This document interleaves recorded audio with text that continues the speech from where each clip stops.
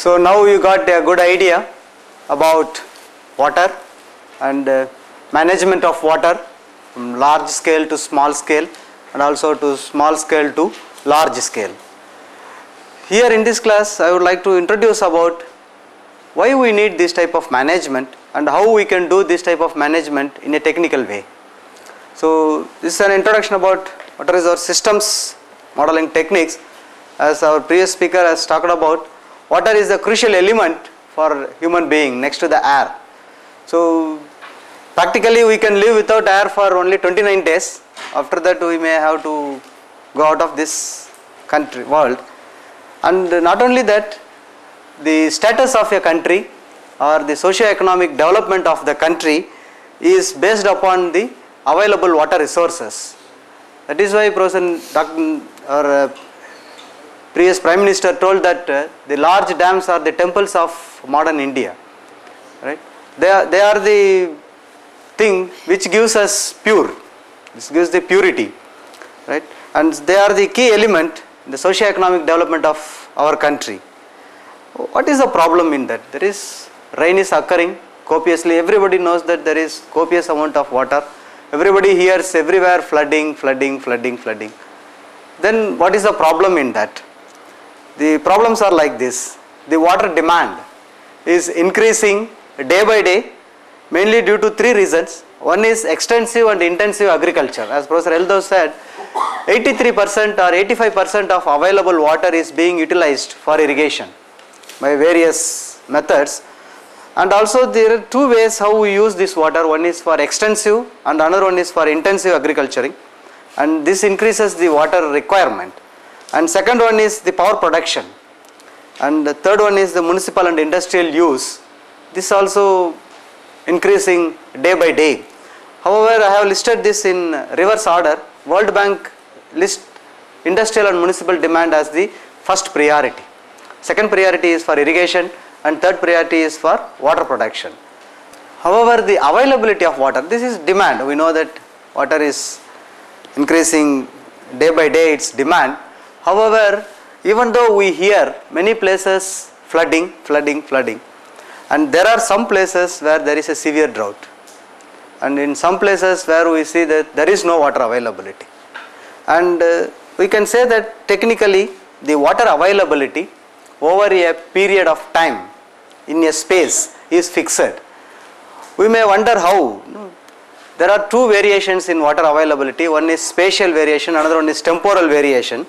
Spatial variation means availability over a period over the space. For example, in India, at a given time, we have variations in availability of water from Rajasthan to India, Rajasthan to Chennai in a particular place for example in Mumbai itself we have variation in availability from one time to another time. So if I consider a period of time what we call technically as hydrological cycle time period water takes its own path to move from one process to another process. And nobody knows what is the time period taken by a single water particle. It will travel all the processes and reach again its own path. That is one cycle. And if we are able to assess this time period then we can manage the water availability to some extent. And we are trying to find out this length of the path. And that is where our people are working what is the data length we need for modeling? Whether it is 5 years 10 years 15 years 20 years 30 years 60 years. Do not fight because that is the period where we have various spatial and temporal availability. But this repeats the cycle repeats. And what is this time period? No need to fight. Our people have given. This is a constant over a period of time. So i could not open this. Two countries one is india another one is china which gave this time period. India gave the time period as 60 years. That means we know that each year is named one name. And this name repeats once in 60 years. And chinese takes 12 years is the longest time period for hydrological cycle. And for them the hydrological cycle repeats once in 12 years. And their names are given by animal names. And for them this year is pig years.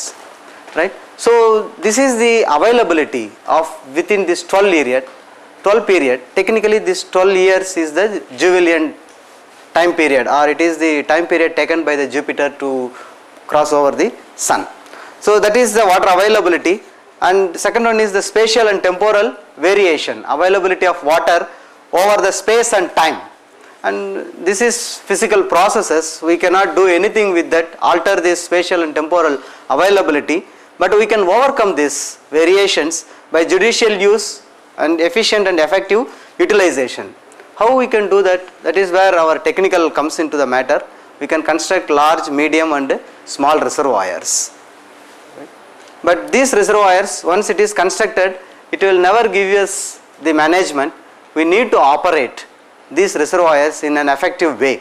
That is where we use these soft computing techniques or water resources modeling techniques. And before going into these different modeling techniques, I would like to introduce a SWOT analysis of water resources. Until now, even today, water industry is never considered as a large scale industry. And we never thought that water is also an industry. Because we do this SWOT analysis, SWOT analysis is strength, weakness, opportunities and threats. Now under uh, QIP uh, TEQIP program, we have to do individual SWOT analysis for each and every faculty in our engineering colleges. That is what AICT gives. So I would like to do a SWOT analysis for water resources. Consider this also as an industry. What is its strength, weakness and opportunities particularly for our Indian country?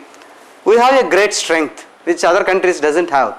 India is gifted with large number of rivers. Not only that Professor Elda has taken, we have gifted with large quantity of water also. Then where does our weakness lies? There are four or five places where our weakness are there. First one is spatial and temporal variations which is uncorrectable like uh, the rainfall at Cherrapunji is in the order of 11,000 mm whereas at Jaisalmer it is in Rajasthan it is only 215 mm per year. This is the spatial variation. Out of this 410 to the power of meter cube or 400 kilometer cube only 69 kilometer cube is in utilizable form where we can directly use. 50 percent is we cannot even see the quantity of water. And secondly whatever the large quantity of reservoirs there are more than 4000 5000 large dams in India. Still the water stored in these dams is insufficient to meet our demand. That is the weakness. And also the monsoon failures or excess rainfall is a failure of entire season right? Then second weakness is pollution of the existing resources. And uh, this only awareness among the users uh, can revert back this pollution right? The next thing is whatever the reservoirs we have constructed at present they are operated based upon thumb rule or based upon experience. There is no technical way how these dams has to be managed if you see any reservoir all the reservoir operating policies are formulated when they are constructed they have not been updated regularly based upon the experience gained. Because these reservoirs is not possible to construct large reservoirs nowadays. Somebody was asking we have to go in from lower scale to large scale rather than from large scale to lower scale. Nowadays we have been evolving ourselves superior superior by technology by having we can construct a very big dam technically it is possible there are some other issues like sociological problem, environmental impact assessment problems which restrict us in constructing this large size reservoirs in India. And uh, topography also does not allow us in India to construct large dams. In Ganges, Brahmaputra, everybody says that this much quantity of water goes to sea from Ganges, from Godavari. Technically, it is not possible to construct very large dams to store this water which are going to the oceans because the avail water availability at the place where water can be stored has already been exploited. We can say 95 percent of surface water, possible surface water has been stored in large dams and reservoirs. So next one is improper understanding of the hydrological phenomena. Even today we have not understood the hydrological cycle or hydrology and its interaction from one process to another process. We pose that as if we have understood and try to evaluate it in terms of mathematical equations and we say that it works for 100% 200% but the same equation same solution if I apply it in some other place it will never work That means whatever we have understood is of limited knowledge and limited space of the given time, right? And uh, next resource is the aquifer. In our, we have large aquifers, but unfortunately uh, these aquifers are either overdeveloped or underdeveloped. That means either we have salinity problem or we have drought problem. Uh, we might have heard that Rajasthan is suffering from uh, water scarcity, but if you go around this Indira Gandhi canal, we have salinity problem, right? Because of over irrigation and improper drainage arrangements. These are all some of the weaknesses in our water resources in India. And what is the opportunities for us to improve using our technological? If large scale reservoirs are not possible, there is possibility of constructing small reservoirs or medium reservoirs or rainwater harvesting at household. And we can use better management for managing our aquifers and we can operate the reservoirs optimally for allocating it for various users by that we can maximize the economic returns. Then we can augment the sources that is desalinization, conjunctive use or we can use for reuse and recycling in industries or we can go for on-farm developmental works or we can create awareness among the people not to pollute the available resources right. So these are all some of the opportunities where we can improve our strength and there are certain places where we are unable to make a weak into a strength that is called threats. This is the first one is large spatial and temporal variation we cannot do anything. Only thing is we can distribute this spatial and temporal variation by interbasin transfers. And uh, second threat is paving of good aquifers. Unfortunately, if you see the metropolitan cities are very large cities, they are located in good aquifers. And for, for example, Chennai, Mumbai, Kolkata, Delhi, they are having very good aquifers. Unfortunately, we are paving it and we are over exploiting this by and thereby we are getting into saline water intrusion. Once saline water intrusion occurred and once we paved, there is no possibility of recharging and re retrieving it back to the original condition. That is the threats. It's not possible to get back my Chennai to the old status or Mumbai to the old status of unpaved condition. So that is one threat.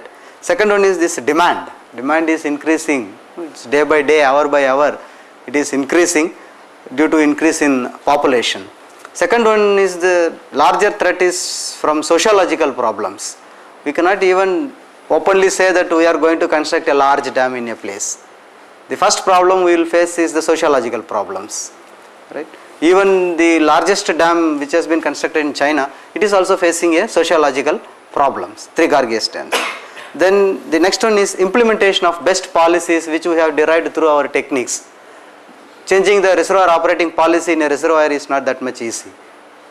You have to convince from chief engineer to the person who is operating the gate. It's not an easy task. And then very important is the irreversible pollution made. For example, many rivers which is passing through the cities, people know from Nanded, Nashik, how they are seeing the Godavari, right? how they are seeing the Krishna. That they are all black in color within the city reach or you see the Mithi river or Cooum river or whatever the Hooghly which is passing through the metropolitan cities. They are all black in color. That pollution, is it possible to revert it back? We have to work hard like how they have reverted back the Thames. Thames was also once upon a time it was like that. But so much of money, so much of courage is, required to reverse back this pollution. But in our case, this is irreversible, the pollution which is been made and sometimes the awareness program which we broadcast may backfire us. These are all some of the threats on water resources but still to manage our water resources we need to study how to manage this. So there are so many management techniques available. One of the best management techniques people used to say is that um, somehow I managed, right? That, that's a common management technique people used to adopt to manage a particular problem. If you, if you don't know how you have managed, we say that somehow I managed.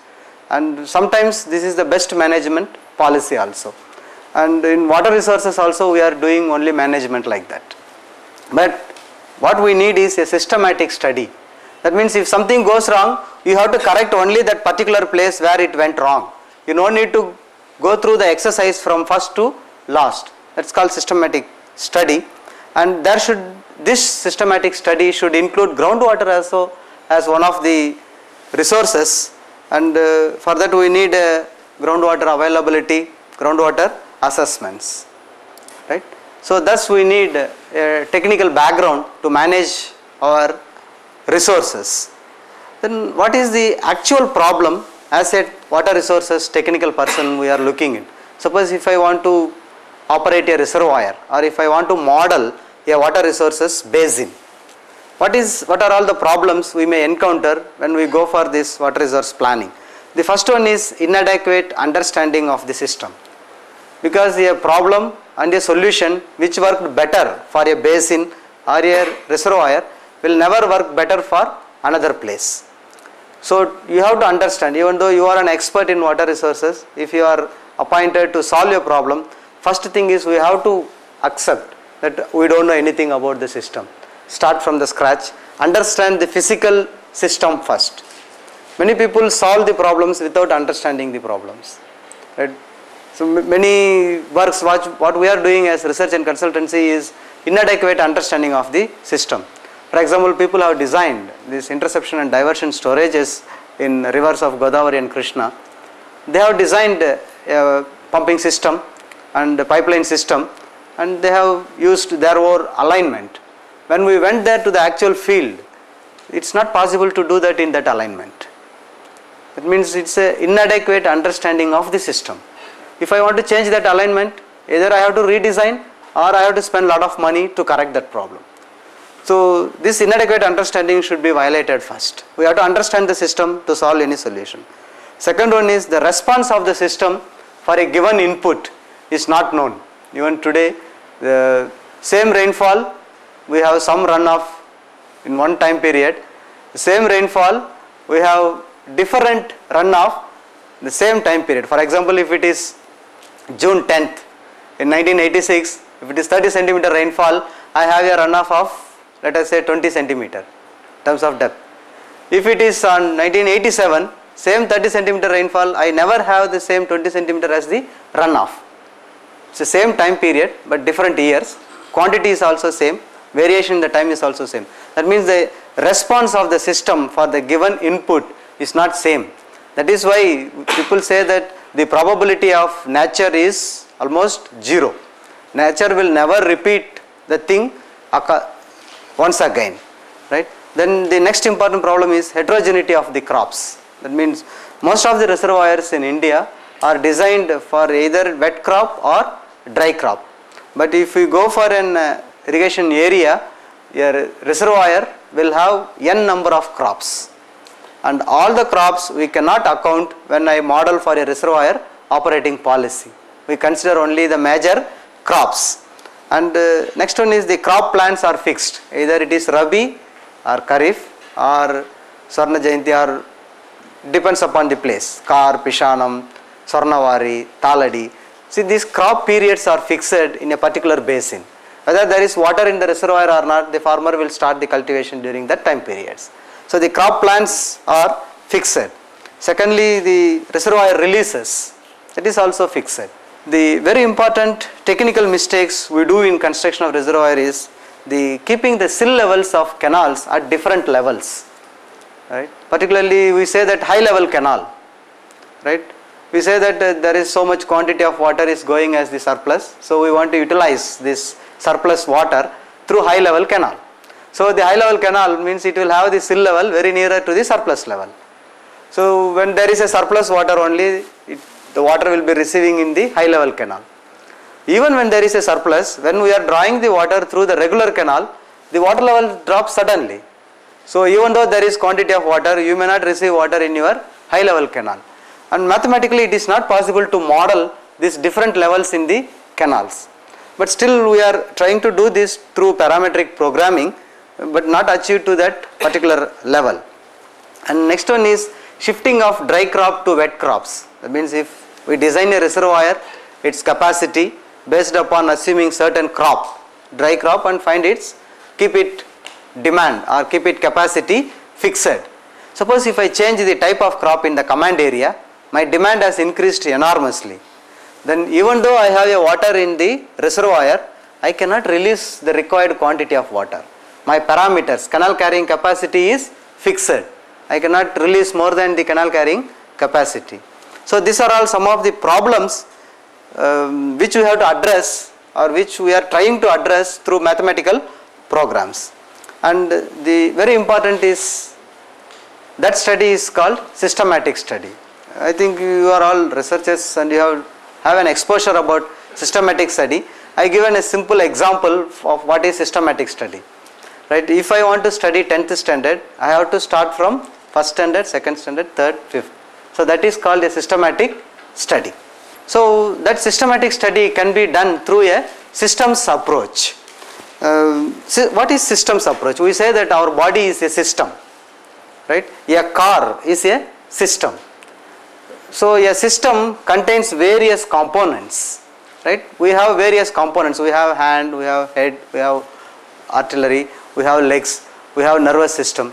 So we have various subsystems. So these components or these subsystem, they will work individually or they may interact or may not interact with the other subsystem. They have individual goals, but all are working for a common goal and that is we call it as a system. And uh, physically if there is a system, if you give an input, you will get an output. Then only we call it as a system. And in water resources, there are three different studies through this systems approach. First one is system design, second one is system analysis and third one is system synthesis. System design is we are going to create a system means I am going to design a water resources project. I am going to design a dam, I am going to design the canal carrying capacity, I am going to fix the command area, I am going to fix the type of crop, what is the area of the crop, power production, everything. We call that as a system design. We are creating the components. System analysis is here already the creation has been done. We are going to operate that system. We are going to see the interaction between one component to the other component. And system synthesis is fine tuning. While in the operating itself, if you achieve 90 percent, if I do system synthesis, I can achieve 99 percent efficiency. Right. So, these are all the three different systematic studies we can go ahead. Then if this is a systematic study, why I need this systematic study in water resources? If our problem falls or says yes to any one of these five questions, then I need a systematic study. If my system is large and complex, for a complex system it need not to be a large, even a small system can also be a complex system. Then I need a systematic study, right? Or if a system involve or necessitate knowledge from many disciplines, right? We know that water resources is a large system and a complex system and water resource requires knowledge from various disciplines. We need hydrologists, we need irrigation engineers, we need structural engineers, we need sociologists, we need economists, right? We need uh, various knowledges from sociological, that's very important. Then agricultural, crop management, crop production engineers. So we need knowledge from various subjects, then only we can operate our system. In such problems we need a systems approach or if the objective need to be quantified in terms of mathematical terms or logical terms right? Then we need a systematic study. We can quantify our water resources in terms of mathematical monetary benefits non monetary benefits or logical terms. Then we need a systematic study. Then if one or more variables involve uncertainty there also we need a systems approach. For example, if it is a factory, I know if I give this much of input, the output is fixed. It's a deterministic problem. Whereas in water resources, large number of variables involve uncertainty, rainfall, inflow into the reservoir. There are so many uncertainties. In such problem to solve, I need a systematic study. and uh, very important why we need even if there is no for all these problems if a problem has many alternative viable solutions then also I need a systematic study. I think only water resource is the problem where it will have a alternative viable solution. Even water resource we can say no no no no for the first four but the last one if I give a reservoir for one person he will manage it in a better way than any other person or if I give the same problem to another person he can manage it in better way than any other person.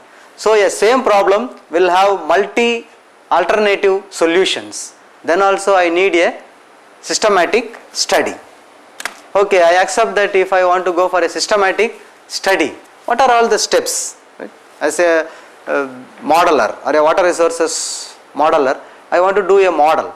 Then what are all the steps? If the steps are fixed, I can reach the goal. If my steps are not fixed, I cannot reach the goal. So what are all the steps? There are five important steps in water resources systems analysis. First one is definition of system and objectives. If our objectives are clear, 50% of our problem is solved.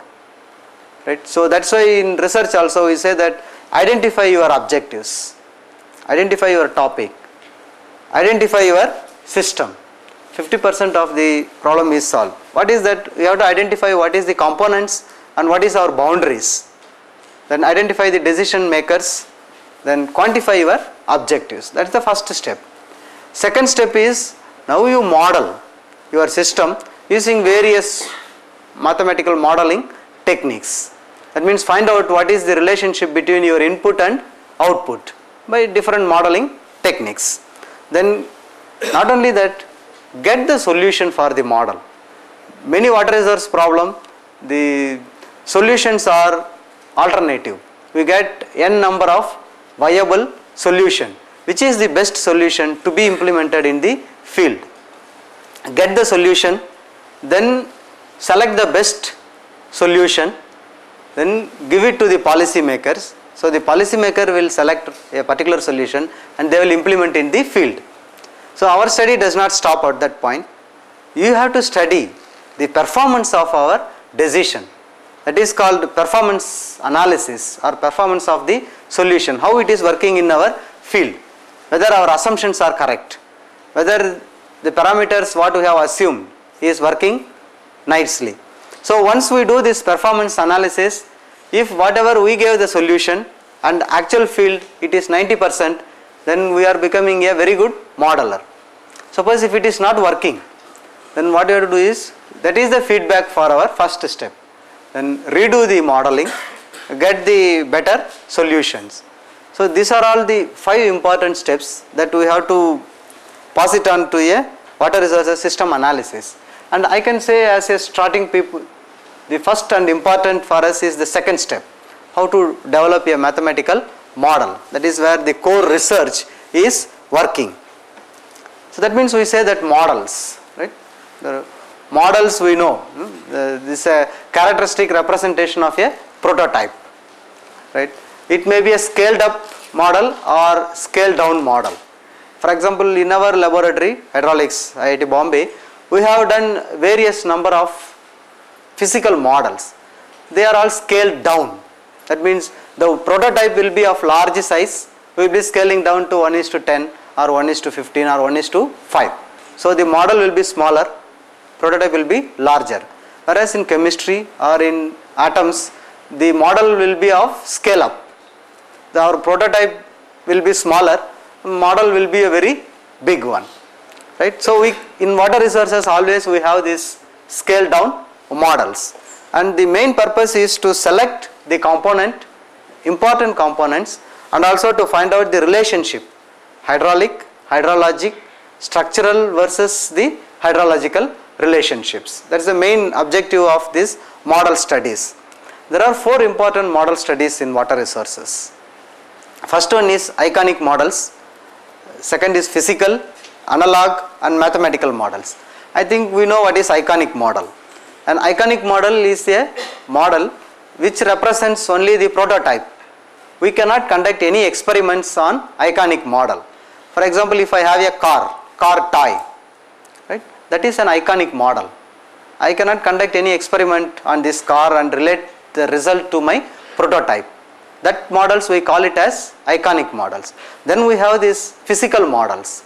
Physical models are representation of prototype in same medium or same entity. We can conduct the experiments on these models and relate the results to our prototype. This may be based upon various similitudes Reynolds similitude Weber similitude Froude's similitude depending upon the hydraulic and hydrologic conditions. What we do in hydraulic is either Froude's similitude or Reynolds similitude. Then third one is analog models. There are certain experiments certain prototype problems which we cannot do it in physical model studies. For example if I want to study the seepage analysis below an earthen dam even if I construct a small scale I cannot visualize how this water is moving below my earthen dam.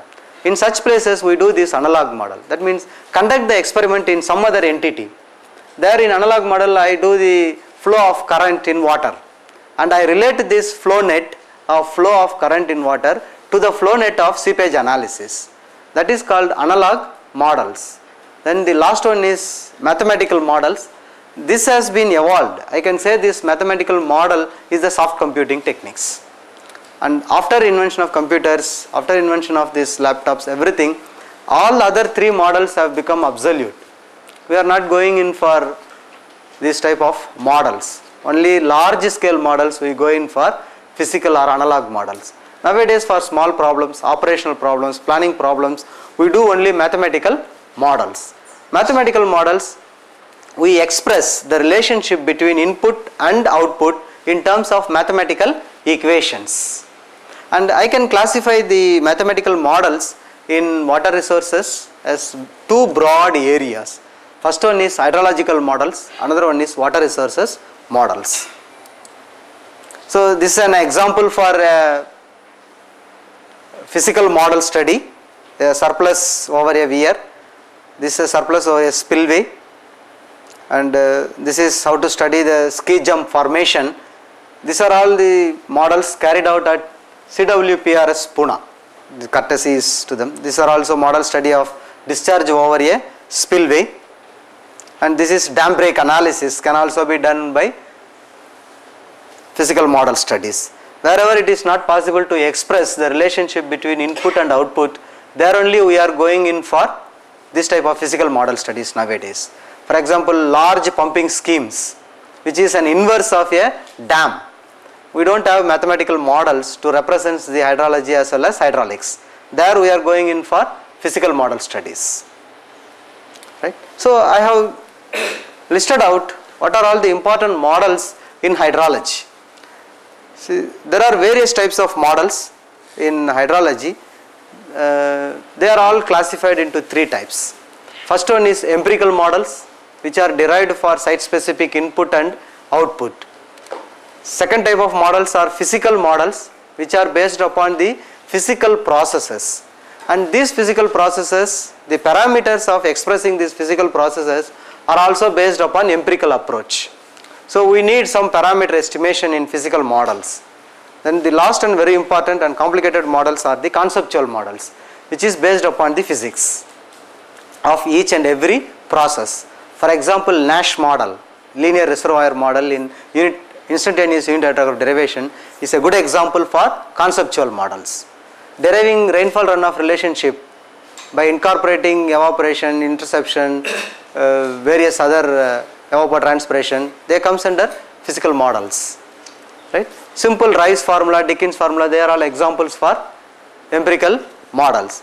And these models depending upon how we give the input can be classified into four categories that depends upon the input. First one is deterministic, probabilistic, stochastic and fuzzy.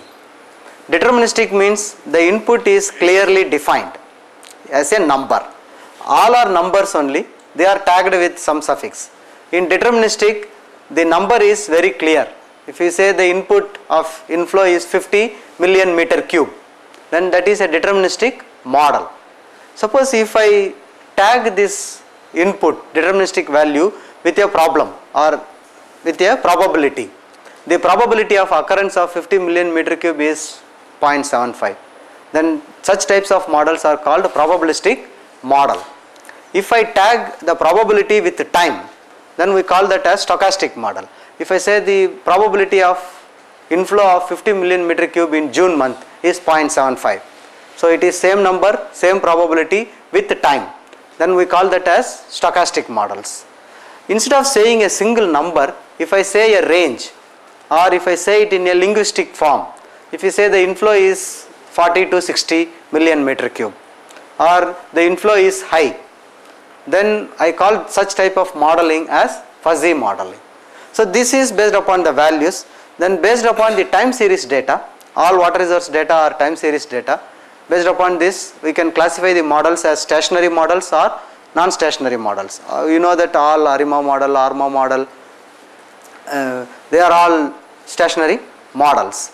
Then based upon the data it can be a lumped model or distributed models then based upon the relationship between input and output it can be linear or non-linear models then the based upon the time step in my model in what condition I want to simulate I want to find out the rainfall of today tomorrow day after tomorrow or I may have to find out the rainfall of this month next month then my time step is day this is month so this is a time step in my model at what time steps I am estimating the time, uh, the processes or it may be an event based. That means in time based models my time interval is fixed. For each and every fixed time interval I simulate the basin. Whereas in event based my time is not fixed. Suppose if I want to model the flood studies then I don't look in for a fixed time interval. The flood we are looking only for the events to occur. So here the events are fixed time intervals are variable whereas in time based model time is fixed events are variable then we may model a single variate or multivariate single variate means just inflow into one single reservoir. That's a single variate. If i try to model inflow into five reservoirs at a particular time period then that is a multivariate. Y is equal to mx plus c. It's a single variate. Y is equal to m1 x1 plus m2 x2 plus m3 x3 plus c. It's a multivariate. I am trying to model various parameters or various variables at a given time. Then based upon the site it may be a single site or multi-site. So these are all the models. The unfortunate condition or the better thing is the models need not be of any one category. All the research done are only combination of models. The uh, remaining I said if you find out what is your objectives 50% of your problem is solved. If you have selected the correct model your remaining 25% of the problem is solved because there is no single model available to solve all the problems. So I have to combine the models to solve my problem depending upon the site condition. So I have just given a simple example. There are I have taken only conceptual models, stochastic conceptual models, then stochastic empirical models or it may be a deterministic conceptual or deterministic empirical. If I consider stochastic, it may be stationary or non-stationary or it may be linear, non-linear or it may be lump or distributed. So there is a combination of different models together in a single model depending upon my type of data, site and location or the properties of my time series data. That is in hydrology. Whereas in water resources which is mostly used for planning and uh, operation, we have two broad classification that is called optimization and simulation. The optimization models they are called prescriptive models. That means the optimization model will give you the best solution. That is why if we have some illness, we go to a doctor. He gives a prescription. That means for this problem, this is the best solution. That is called optimization models. Whereas simulation models are mostly used for planning. For a same input, we generate alternative scenarios and that is called simulation models. They are called descriptive models. right So these are all the various models in water resources. Uh, again I have listed this based upon the processes and different model types. Again we, the two broad classification is optimization and simulation. Again based upon the values it is deterministic, probabilistic, stochastic and fuzzy. And uh, very important here is the last point that is based upon the solution algorithm right we have linear and non-linear right so nowadays we represent only the non-linear model because in earlier days people used to work lot on these linear models. But in reality the relationship between input and output is not linear. So we are working mainly on non-linear models. The solution algorithms which uh, we have listed if you solve this by manually it is not possible to solve. Right? There we apply our softwares there we apply our computers and that is why we call this as soft computing techniques i can say even linear programming in water resources is a soft computing technique because if i consider a large reservoir with 3 canals and with 20 crops in each canal if i do a monthly model then i will end up with 144 or 186 constraint with 150 variables. I cannot solve a matrix of 144 by 122 by hand. I need a computer. It is not possible manually. Even though we are superior, our brains are superior than computers, it is not possible, physically possible to solve that. In such places we use these computers. That is why still I classify linear programming is also a soft computing technique in water resources because the system is large. The very important techniques I have listed here linear programming, integer programming, mixed integer, transportation, assignment they are all linear programs or then non-linear programmings are dynamic, goal programming, genetic algorithm, genetic programming, particle swarm algorithm, ANN they are all classified under non-linear programming. What is that we need in water resources systems modeling? We need two things, two mathematical equations. First one is objective function that's either it may be a cost minimization or benefit maximization, technical objectives. Then we need the constraints. These constraints are the boundaries where I can fit my objective function so that my objective function value is maximum and these constraints may be of four types physical, economic, economical, sociological as well as technical. So the solution here or my problem here is find out the maximum value for my objective function without violating the constraints. So physically solving these constraints is not possible that is where we take the advantage of computers and we class classified this as soft computing techniques. Linear programming will be defined as the relationship between input and output is linear. I think you are all well versed with this. This is a good example for a classical linear programming model, right. So the advantage of linear programming is easy way of getting the solution and large number of softwares are easily available uh, in getting the solution. But it has three or four great advantages. One is the output is crisp. Either the solution is in the space or my variable is in the solution space or not. My values will have either a 0 or 1, right. Then the result, the result may be in local optima, right. Then we may have some infeasible solutions. Lastly, very important is our real life problems are not linear problems, right. But even now today, people are using this linear programming to find out the optimal cropping pattern in a reservoir. These are all other forms of linear programming, stochastic, chance constraint, integer, mixed integer, fuzzy logic. I think we can go this in detail later. The next important type of modeling is nonlinear programming. I have a nonlinear relationship between input and output either in the objective function or in the constraint or both. Still I classify that model as a nonlinear programming model.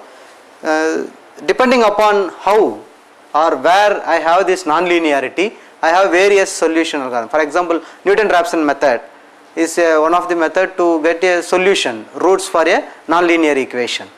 So these are all some of the equations and this is the widely used software for solving a nonlinear equations. Right, these are all other forms of NLP model, quadratic programming, geometric, separable, genetic algorithm and genetic programs. The another important is dynamic programming model. This is the most important model we apply in water resources because only water resources requires a sequential decision. That means if I want to operate a reservoir, if I release the water on June, once it is released, it is irreversible. So my decision on July depends upon the release I took on June. So in such type of sequential decision making problems, dynamic programming is the best model. Unfortunately, many real life problems we cannot solve through this dynamic programming because of this curse of dimensionality. Even with the soft computing techniques, even though this dynamic programming gives best results to derive reservoir operating rules, I cannot solve because of curse of dimensionality. My computer will struck up because the matrix will go in terms of 1000 by 1000 or 2000 by 3000 like that. Right? So this dynamic programming is very important. There are four important dynamic programmings which we use in our water resources. One is optimal routing, particularly in pipe network analysis or sewage pumping, which is the optimal route through which my pipe network has to pass. Or it may be an optimal allocation within the canal reaches, what is the release for each and every sluice, or it may be for a reservoir operating rule curves, or it may be for capacity expansion. It means if I plan for a water supply for a city of 50 years, what, what should be the capacity for each and every step I have to increase. We will not construct all the capacity in the starting itself. So it depends upon the economics. I think uh, this simulation I will take it in the next class so that we will have some because this is a different technique. Uh, next class I will take this simulation. If you have any solution, if you have any questions, you can ask the questions. Before that, this only introduction, I would like to introduce this slide. Morning we was talking about the status of water resources today. Right? 90% of the countries in the world, there is inland water resources problem, either non-availability, excess availability or internal sharing problem. Remaining 10% of the country, they will have cross-country problems maybe fighting with the next countries. Thus, if water is not managed technically efficient way, this WATER will become, this TE will go and we have to fight for the water. As a water resources managers, we are all water resource managers because we have interest in water resources. We will be part of any one. Either we will shoot the problem or we'll, we will create the problem. Right? Both are good. If you create a problem there will be somebody to solve it. Or if you are solving it somebody is there to create the problem. Right? Thank you